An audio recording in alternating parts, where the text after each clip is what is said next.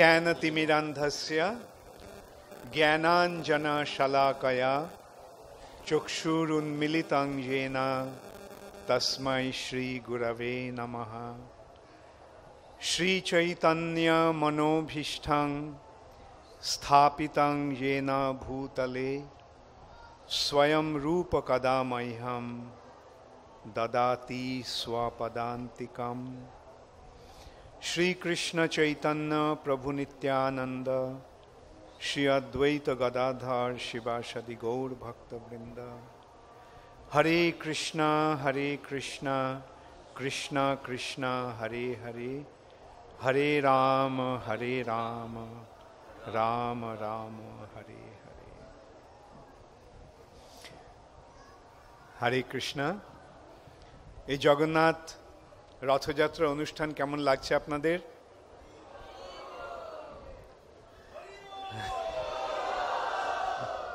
হরিবল মানে খুব ভালো লাগছে। আচ্ছা জগন্নাথ কে? এই জগন্নাথ?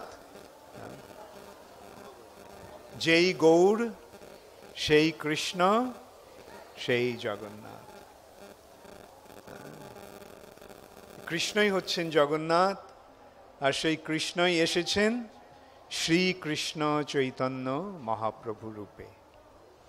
এটা কার কার জানা আছে? খুব ভালো।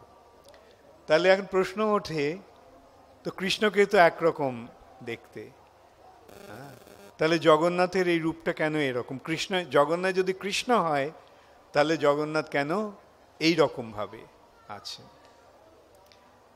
হ্যাঁ এই জগন্নাথ কৃষ্ণ কৃষ্ণ কীভাবে বা কেন এই রূপ পরিগ্রহ করলেন, সেটা কার কার জানা আছে? আচ্ছা কার কার জানা নেই? কে কে জানতে চান? যাদের জানা আছে তারাও জানতে চান? হ্যাঁ? আচ্ছা। এই সম্পর্কে স্কন্দ পুরাণে বর্ণনা রয়েছে। সেই বর্ণনা এই বর্ণনা আমরা সাধারণত তিনটি উৎস থেকে আমরা পাই।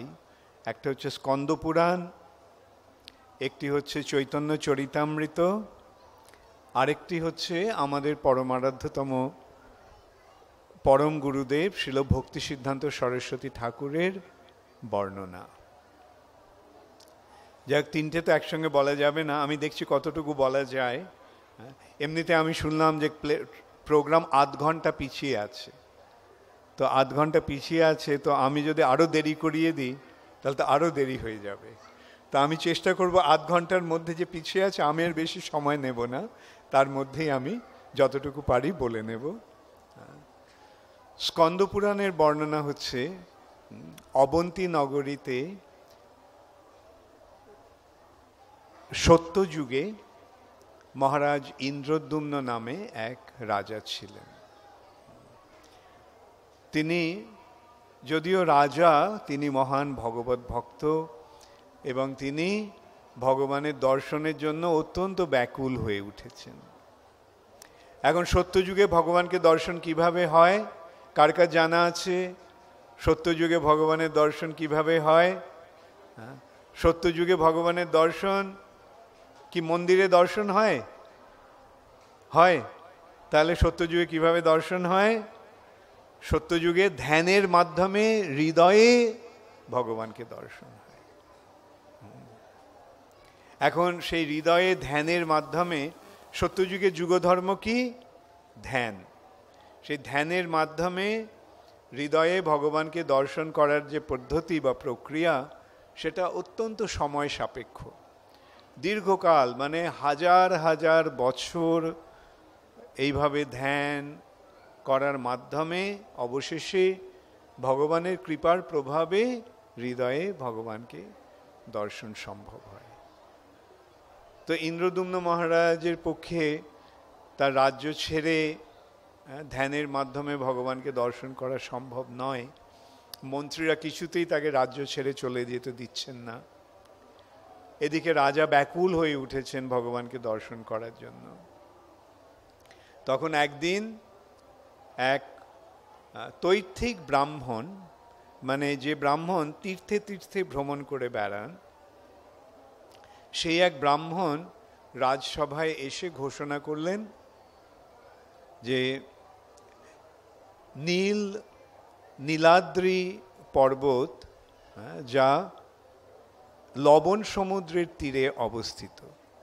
লবণ সমুদ্রের তীরে নীলাদ্রি পর্বতে নীলমাধব রূপে ভগবান বিরাজ করছেন।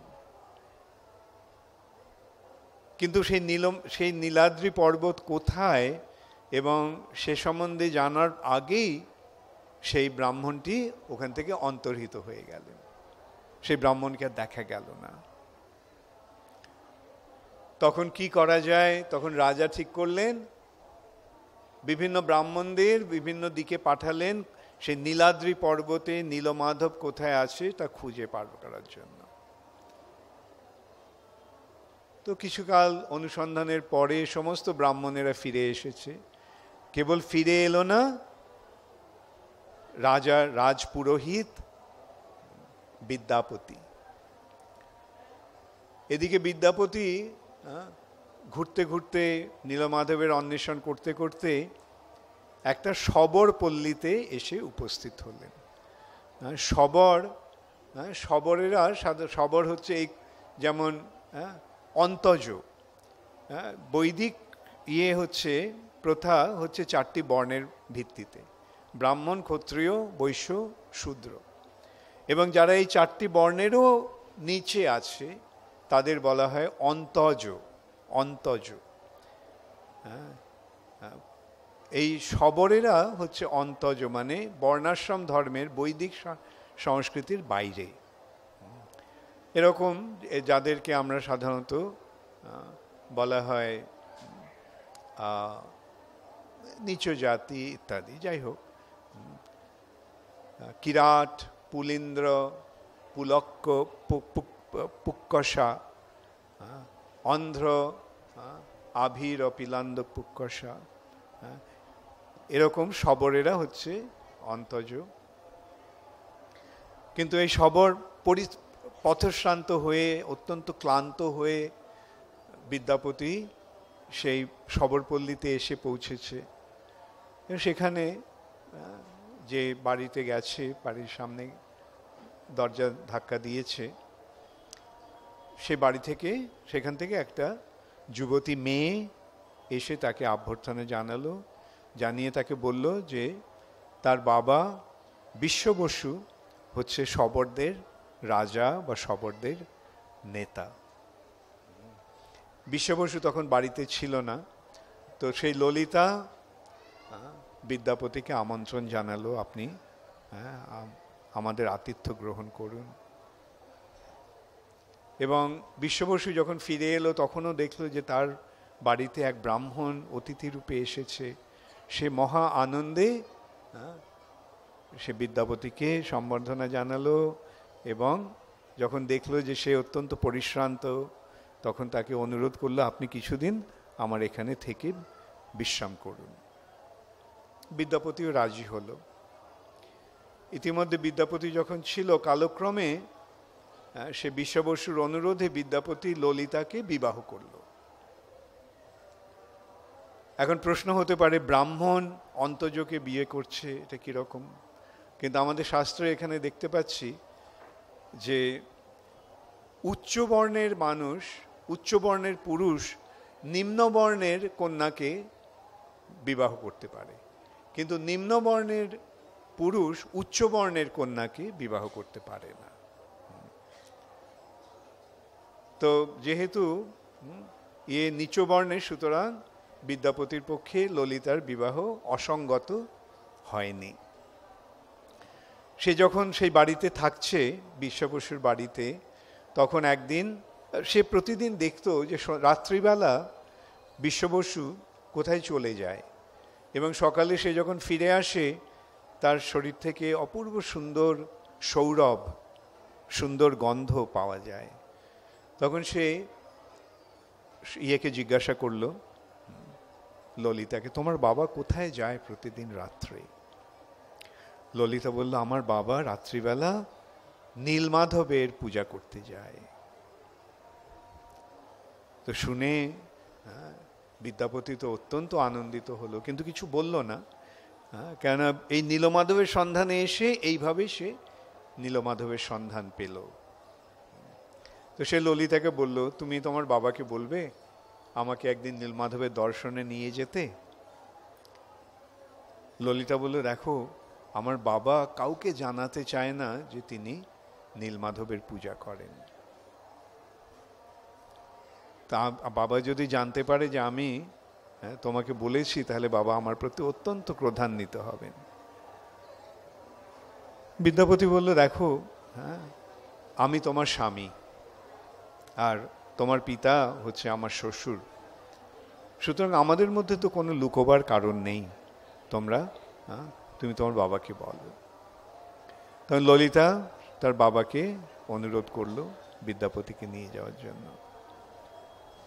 এখন কেন বিশ্ববসু এইভাবে গোপন রাখছিল? নীলমাধবের কথা।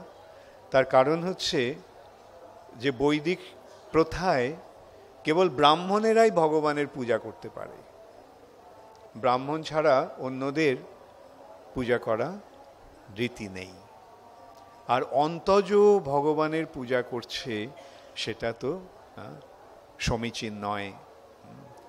এটা জানাজানি হয়ে গেলে বিশ্ববসু মহা বিপদে পড়তে পারে। এখানে আমরা আরেকটা জিনিস দেখতে পাচ্ছি। যে বৈদিক প্রথায় এই সমস্ত নিয়মগুলি রয়েছে যে ব্রাহ্মণ ছাড়া কেউ হ্যাঁ, পূজা অর্চনা করতে পারে না।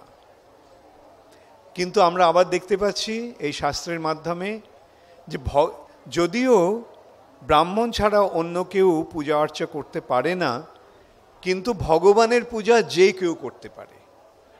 অন্তজ পর্যন্ত হ্যাঁ যে হ্যাঁ সমাজে সবচাইতে অত্যন্ত নিম্ন স্তরে রয়েছে হ্যাঁ যারা পশু শিকার করে জীবিকা নির্বাহ করে, তারা পর্যন্ত ভগবানের পূজা করতে পারে। সে সম্বন্ধে আমাদের কি শাস্ত্রে কি বলা হচ্ছে? হ্যাঁ চণ্ডালোপি দ্বিজশ্রেষ্ঠ হরিভক্তি পরায়ণা। চণ্ডালও যদি ভগবানের ভক্ত হয়, তাহলে সে ব্রাহ্মণ থেকেও ঊর্ধ্বে। ব্রাহ্মণের থেকেও ঊর্ধ্বে রয়েছে এই ভগবত ভক্তের স্থান। তিনি যদি চণ্ডালও হন তাতেও তা তবুও তার স্থান ব্রাহ্মণেরও ঊর্ধ্বে। তো এইভাবে আমরা শাস্ত্রের মাধ্যমে, বর্ণনার মাধ্যমে এইভাবে এই সমস্ত তত্ত্বগুলো আমরা পেয়ে যাচ্ছি। বিশ্ববসু সবর, কিন্তু সে ভগবানের পূজা করছে। বৈদিক সংস্কৃতির পরিপ্রেক্ষিতে দেখতে গেলে বিশ্ববসু দণ্ডনীয়, কিন্তু ভগবানের কৃপার কাছে সে হচ্ছে ভগবানের মহান কৃপা পাত্র তো বিশ্ববসু রাজি হলো বিদ্যাপতিকে নিয়ে যেতে একটা শর্তে। তাকে চোখ বেঁধে নিয়ে যাওয়া হবে, যাতে সে জানতে না পারে বিদ্যাপতি নীলমাধব কোথায় আছে। তো এইভাবে বেশ রাজি হয়ে গেল বিদ্যাপতি। কিন্তু সে ললিতাকে বলল যে, আমাকে একটু সর্ষে দিও। কেন? কেন এই পুজোয় লাগবে? হ্যাঁ তো সেই শস্যটা আঁচলে বেঁধে শস্যের দানাগুলো আঁচলে বেঁধে, অন্ধ চোখ বাঁধা অবস্থায় বিদ্যাপতি যাচ্ছে, বিশ্ববসু ওকে হাত ধরে নিয়ে যাচ্ছে। আর বিশ্ব, বিদ্যাপতি কি করল? সেই শস্যগুলো নিয়ে যাতা, যাওয়ার পথে সেগুলি ছড়াতে ছড়াতে গেল। কেন করল সেটা আমরা পরে দেখতে পাবো।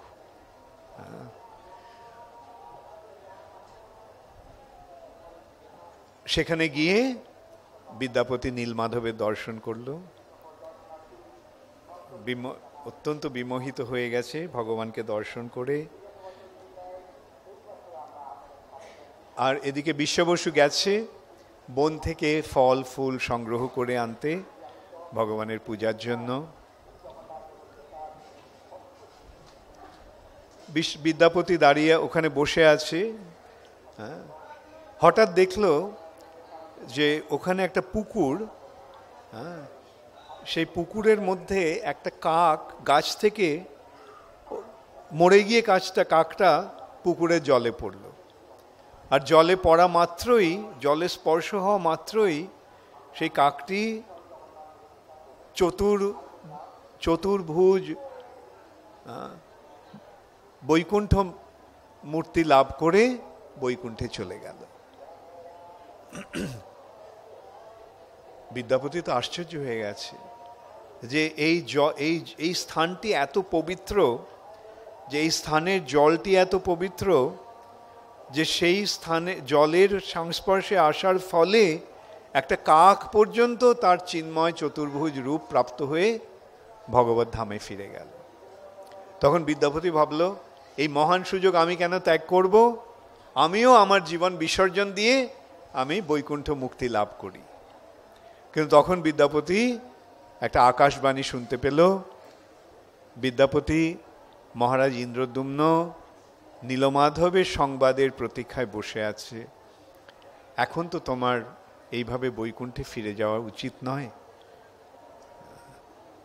তখন বিদ্যাপতি সংবরণ ইয়ে করল, নিরস্ত হলো আত্মহত্যা করার থেকে। এদিকে বিশ্ববর্ষে ফিরে এসে ভগবানের সেবার আয়োজন করছে। তখন বিশ্ববসু শুনতে পেল বিশ্ববসু আমি দীর্ঘকাল তোমার সেবা নিয়েছি। এখন আমি মহারাজ ইন্দ্রদ্যুম্নের সেবা গ্রহণ করব। ভগবানের প্রতি, নীলমাধবের প্রতি বিশ্ববসুর এতই হার্দিক আকর্ষণ সে শোনা মাত্রই সে মন, তার মনে হলো যেন তার সামনে সারা জগৎটা অন্ধকার হয়ে গেল। নীলমাধব তার সেবা ছেড়ে চলে যাচ্ছে। নীলমাধব এখন ইন্দ্রদুম্ন রাজার সেবা গ্রহণ করবে। সে মনে করল যে এটা নিশ্চয়ই এই ব্রাহ্মণ বিদ্যাপতির চক্রান্ত। বিদ্যাপতির প্ররোচনায় নীলমাধব এখন ইন্দ্রদুম্নের সেবা গ্রহণের প্রয়াসী হয়েছে। তখন সে অত্যন্ত ক্রুদ্ধ হয়ে সেই ইয়েকে, সেই অভিযোগ আনলো বিদ্যাপতিকে, বিদ্যাপতির কাছে। তুমি আমার নীলমাধবকে নিয়ে যাচ্ছ, এটা আমি কখনো হতে দেব না। আমি তোমাকে প্রাণে মেরে ফেলতাম যদি তুমি আমার জামাতা না হতে। তো আমি তোমাকে মারবো না, তবে আমি এখানে তোমাকে বেঁধে রেখে ফেলে যাচ্ছি। বন্য পশুরা এসে তোমাকে তার, তোমার সদ্ব্যবহার করুক। এই বলে সে তাকে ওখানে বেঁধে রেখে সে বাড়ি ফিরে গেছে। একা ফিরে আসতে দেখে ললিতা তাকে জিজ্ঞাসা করল, বাবা, তোমার জামাই কোথায়? বিশ্ববসু তখন সমস্ত ঘটনা তাকে বলল। যাই হোক ললিতা তো তার পত্নী হ্যাঁ? তো ললিতা তখন আর্তনাদ করতে করতে বিদ্যাপতিকে খুঁজতে চলে গেল। এবং অবশেষে সে জঙ্গলের মধ্যে বিদ্যাপতিকে খুঁজে পেল।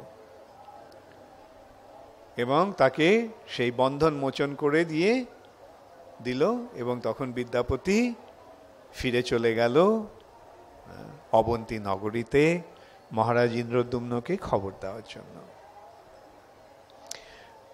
মহারাজ ইন্দ্রদম্ন সেই খবর পেয়ে সৈন্য সামন্ত নিয়ে এসেছেন নীলাদ্রি পর্বতে নীলমাধবকে দর্শন করার জন্য।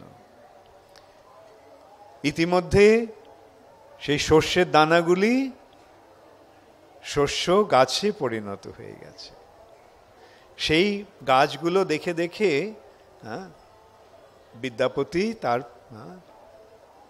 নীলমাধবের মন্দিরে পৌঁছলো। কিন্তু সেখানে গিয়ে দেখল যে নীলমাধব নেই। ইন্দ্রদুম্ন ভাবলো এই নিশ্চয়ই বিশ্ববসুর কাজ। সে নিশ্চয়ই নীলমাধবকে কোথাও লুকিয়ে রেখেছে। তো জিজ্ঞাসা করল, কোনো উত্তর পেল না? তখন সে সারা গ্রামটাকে অবরোধ করল।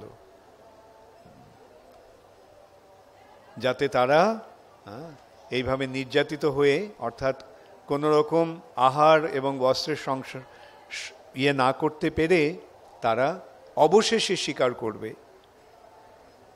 নীলমাধবকে তারা কোথায় লুকিয়ে রেখেছে?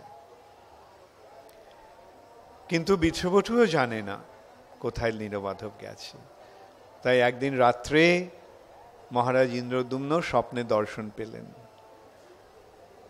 যে নীলমাধব বলছেন ইন্দ্রদুম্ন, তুমি আমার নীলমাধব রূপে তুমি আমাকে আর দর্শন, তুমি দর্শন করতে পারবে না। এই রূপ অন্তর্হিত হয়ে গেছে, এই রূপ বৈকুণ্ঠে ফিরে গেছে। তবে আমি একটা কাঠ রূপে ভেসে এসেছি। দারু ব্রহ্ম, দারু মানে কাঠ আর ব্রহ্ম, এটা সাধারণ কাঠ নয়, এটা চিন্ময় কাঠ। এই চিন্ময় কাঠ রূপে আমি ভেসে এসেছি সমুদ্রে। তো সে স্বপ্ন দেখা মাত্রই মহারাজ ইন্দ্রদুম্ন ছুটে গেল সমুদ্রে পারে গিয়ে দেখে সত্যি সত্যি একটা বিশাল কাঠ এরকম ভেসে এসেছে সমুদ্রের জলে। তো সেটা সে ওঠা, ওঠাবার চেষ্টা করল। একা তো ওঠাতে পারলোই না। অনেককে ডাকলো। তারাও তাদের সাহায্য নিয়ে ওঠানো গেল না। রাজা তার সমস্ত সৈন্য সামন্ত নিয়ে ওঠাবার চেষ্টা করল।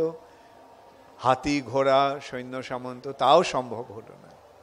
আবার মহারাজ ইন্দ্রদ্যুম্ন বিফল মনোরথ হলেন।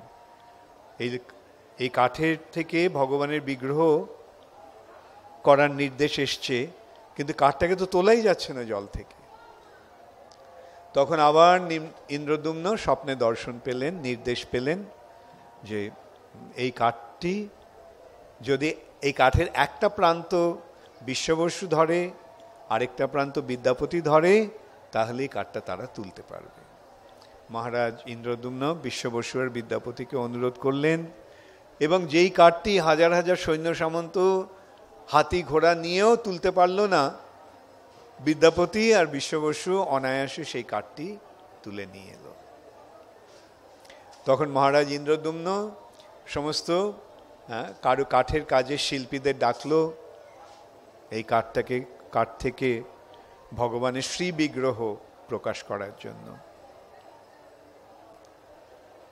কিন্তু সেই সমস্ত শিল্পীরা যেইমাত্র তাদের যন্ত্র, এই বাটু হাতুড়ি, বাটাল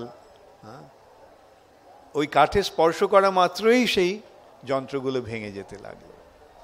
কেউ সে কাঠের ওপরে একটা আঁচড়ও পর্যন্ত ফেলতে পারল না। বিফল মনোরথ হয়ে ইন্দ্রদুম্ন মহারাজ অত্যন্ত বিমর্ষ হয়ে আছেন, কি করা যায় এখন? কেউই তো এই কাঠ থেকে কাটতে পারছে না।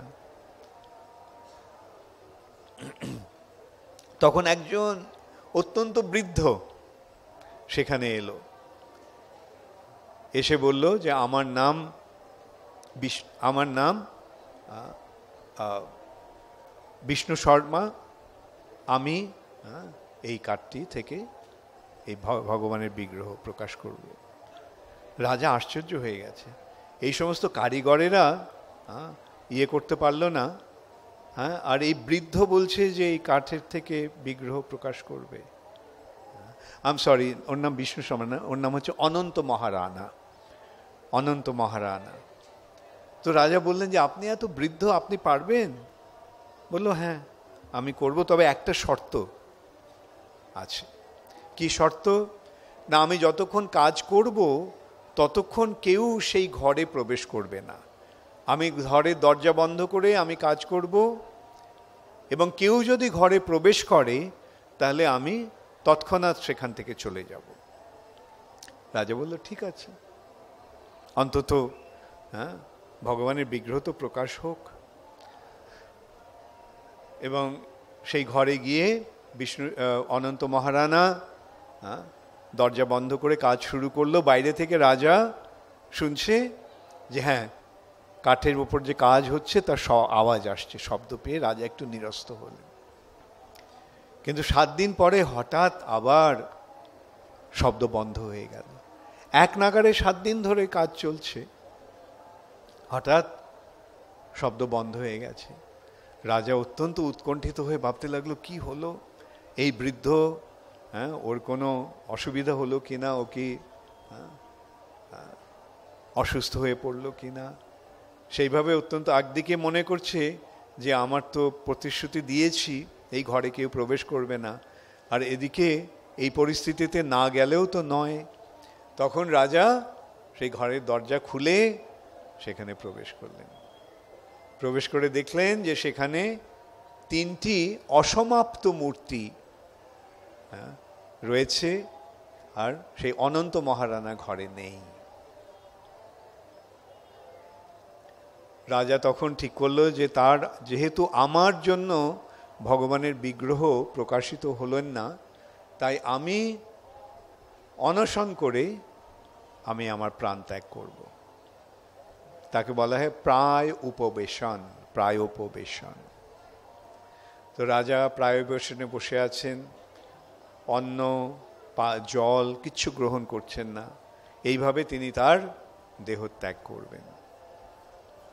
তিন দিন পরে রাজা স্বপ্নে দেখলেন যে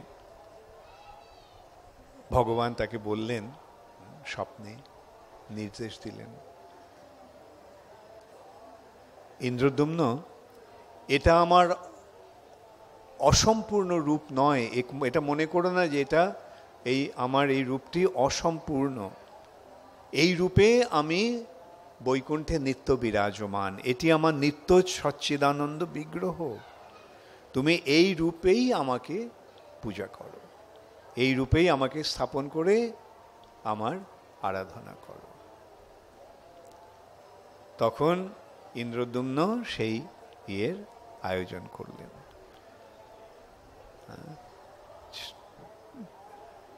ভগবানের সেই তথ্য যে আপাত দৃষ্টিতে যে অসম্পূর্ণ রূপ, সেটিকে শৃঙ্গার করে স্থাপন করলেন, ব্রহ্মা সেই বিগ্রহের স্থাপনা করলেন, ব্রহ্মা এসে।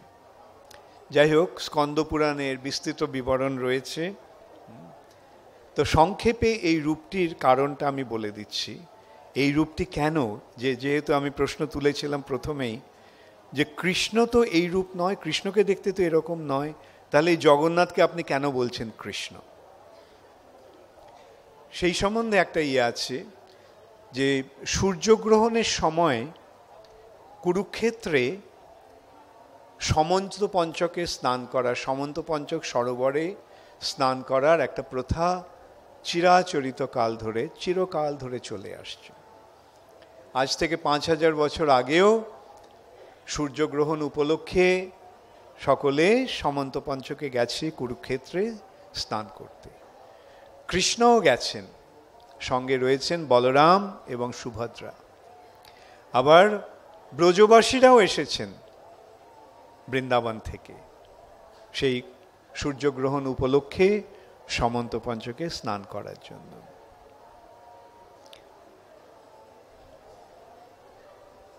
সূর্যগ্রহণ হয়ে গেছে, সমন্ত পঞ্চকে স্নান হয়ে গেছে।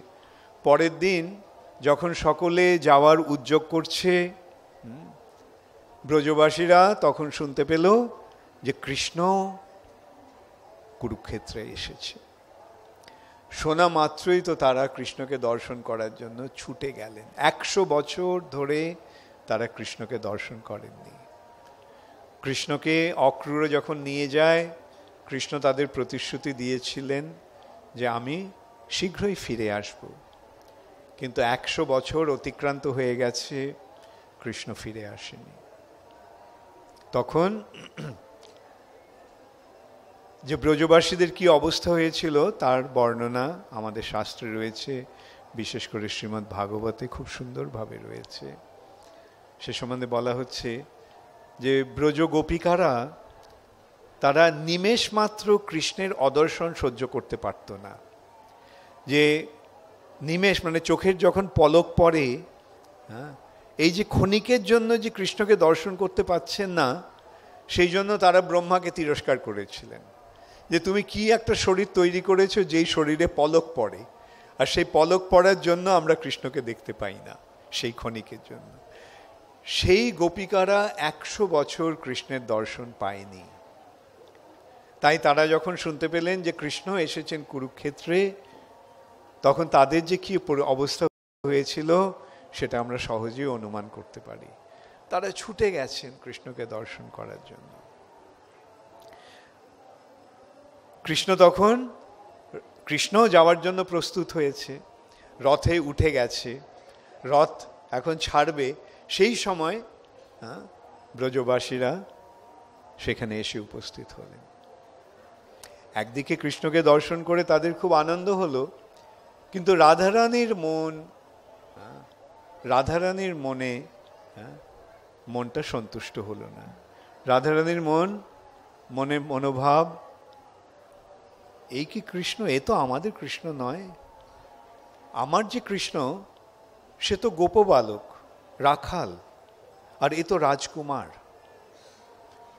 আমার কৃষ্ণের মাথায় ময়ূরের পাখম ময়ূরের পাখা আর এর মাথায় রাজমুকুট।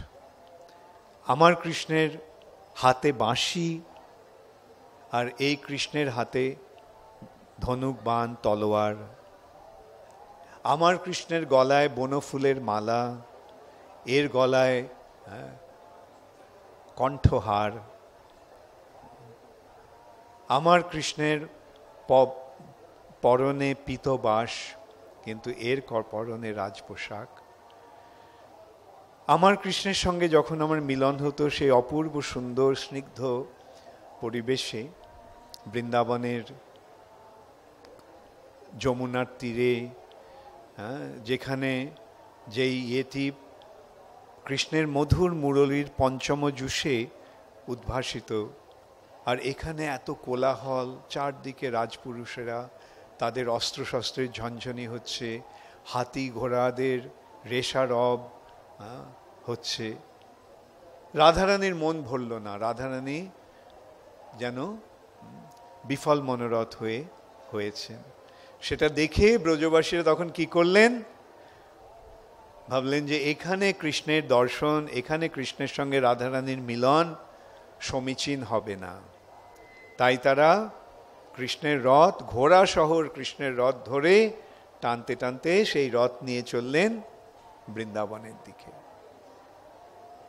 আর সঙ্গে বলরাম রয়েছে। বলরামও তো তাদেরই একজন সঙ্গী। আর দুই ভাইকে যদি নিয়ে যাওয়া হয়, তাহলে তো বোনকেও তো একলা ফেলে রেখে যাওয়া যায় না। তাই তার রথ থেকেও তারা টানতে টানতে এইভাবে কৃষ্ণ, জগন, কৃষ্ণের রথ, বলরামের রথ, সুভদ্রার রথ তারা টানতে টানতে নিয়ে চললেন বৃন্দাবনে। সে বৃন্দাবনে রাধারানীর সঙ্গে কৃষ্ণের মিলন ঘটানোর জন্য। আর এদিকে কৃষ্ণ এত দীর্ঘকাল পরে এই ব্রজবাসীদের তার অন্তরঙ্গ সঙ্গীদের দর্শন করে হ্যাঁ, তারও এত আনন্দ হলো যে তার মুখ এক অপূর্ব সুন্দর হাসিতে উদ্ভাসিত হলো তার চোখ দুটি পূর্ণ বিকশিত পদ্মের মতো প্রস্ফুটিত হলো এবং তার হাত দুটি প্রসারিত হলো তার সেই ভক্তদের আলিঙ্গন করার উদ্দেশ্যে। এইটি হচ্ছে জগন্নাথের রূপ। কৃষ্ণ, এই জগন্নাথ, এই রূপে তিনি তার ভক্তদের সান্নিধ্য পেয়ে ভক্তদের আনন্দ ভক্তদের সান্নিধ্য লাভ করে তিনি আনন্দে আকুল হয়ে উঠেছেন। এবং সেই ভক্তদের আলিঙ্গন করার জন্য তিনি ব্যাকুল হয়ে উঠেছেন। সেইটি হচ্ছে এই জগন্নাথের রূপ। অতএব হ্যাঁ এই জগন্নাথ যে কৃষ্ণ, জগন্নাথের রথযাত্রার যে কি আয়োজন, সেটাও এইভাবে আমরা জানতে পারলাম। এই রথযাত্রা কৃষ্ণকে কুরুক্ষেত্রে দর্শন করার পর ব্রজবাসীরা কৃষ্ণকে নিয়ে যাচ্ছেন বৃন্দাবনে, সেখানে রাধারানীর সঙ্গে মিলন ঘটাবার জন্য। তাই ভক্তদের একমাত্র উদ্দেশ্য হচ্ছে কৃষ্ণকে রাধারানীর কাছে নিয়ে যাওয়া। কেন কৃষ্ণের বিরহে রাধারানীর যে পরিস্থিতি, রাধারানীর যে অবস্থা, সেটা তারা সহ্য করতে পারে না। তাই তারা সব সময় রাধারানীর সঙ্গে কৃষ্ণের মিলন ঘটাবার আয়োজন করেন। হরে কৃষ্ণ। তাহলে এখন সাড়ে সাতটা বেজে গেছে, আমি ভেবেছিলাম একটু কীর্তন করব। ঠিক আছে, আমি পাঁচ মিনিটের মতো একটু কীর্তন করে আমি শেষ করছি।